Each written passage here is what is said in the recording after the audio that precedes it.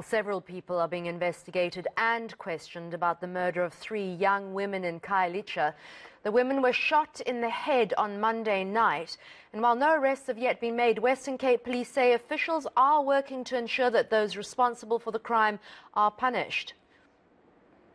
As part of the 72 hour activation plan, our detectives are following up several leads. They are hard at work. At this point, we can't divulge much suffice to indicate that they are interviewing several people and pursuing some leads that have come to the fore. In the month of September, we have had in the Western Cape several multiple murders. But I must say that Khayelitsha for the month of September, this is the first one.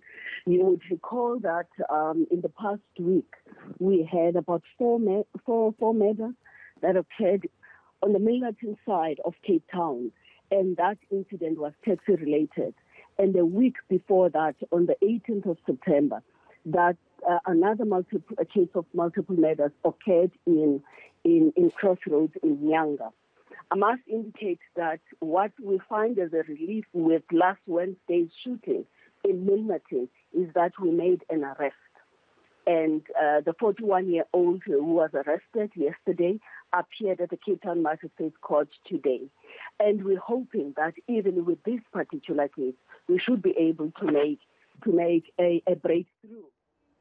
Staying with that story, we ask if there's a link between apartheid era spatial planning in Khayelitsha and the police's inability to fight crime in the area. To help answer this, we're joined now by Khensani Motileni from the Social Justice Coalition. She's also a human rights attorney and researcher. Khensani, thanks a lot for joining us. We know that the location and the current setup of Khayelitsha is a legacy of apartheid uh, spatial planning. Is that a cause for the ineffective policing we're seeing in the area?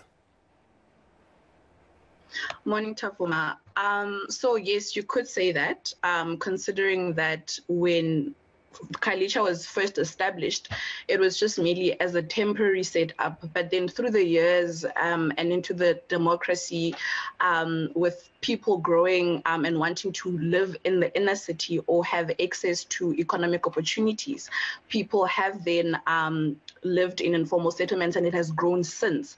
So you could understand that there could be some capacity reasons and also considering that the right to adequate housing is one that one can realize progressively, right? So it's not something that you will get immediately. So obviously due to the delay in um, having access to housing is making could be a pointer to say that people are actually occupying um, in informal settlements and therefore there's no capacity.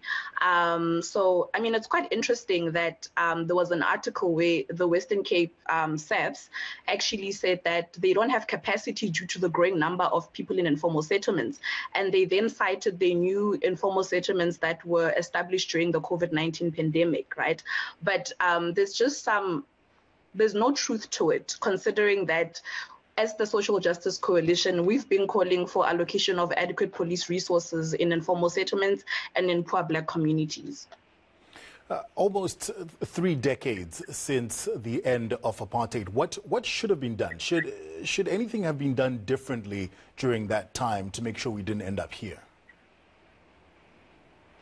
Well that's quite a difficult question to actually answer, but definitely things could have been done differently. A lot could have been revised because even when the Social Justice Coalition took the Minister of Police to the Equality Court in 2016, um, we used a document um, that has always been there, you know, a document that has always been used with regards to um, allocation of um, personnel, police personnel um, in South Africa.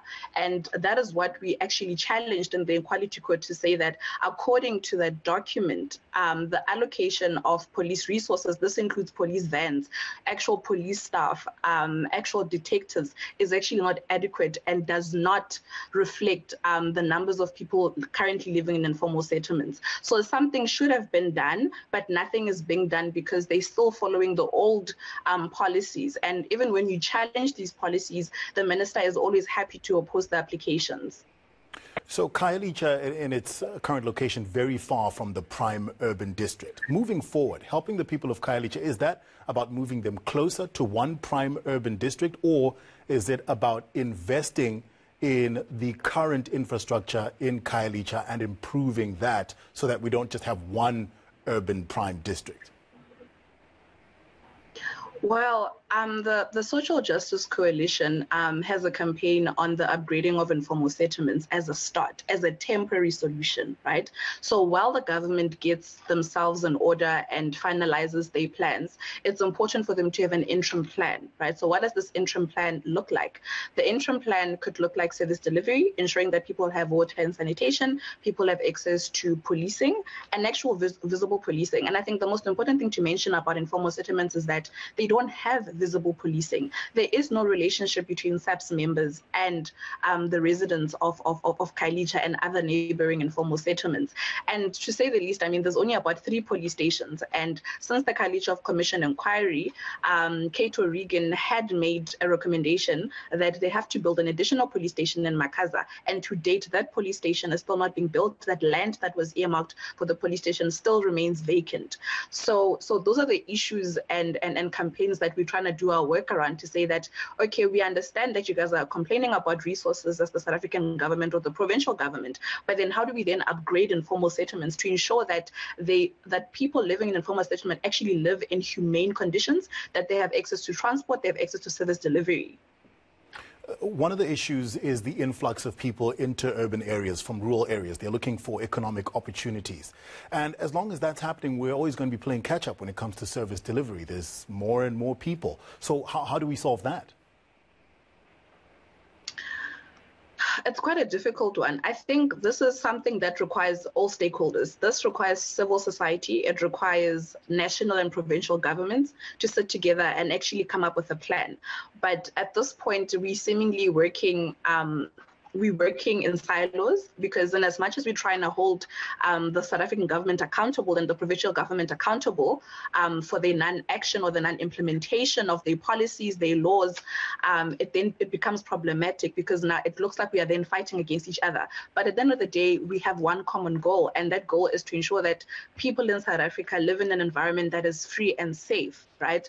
So, so, so maybe it's high time that we all sit together, put our heads together.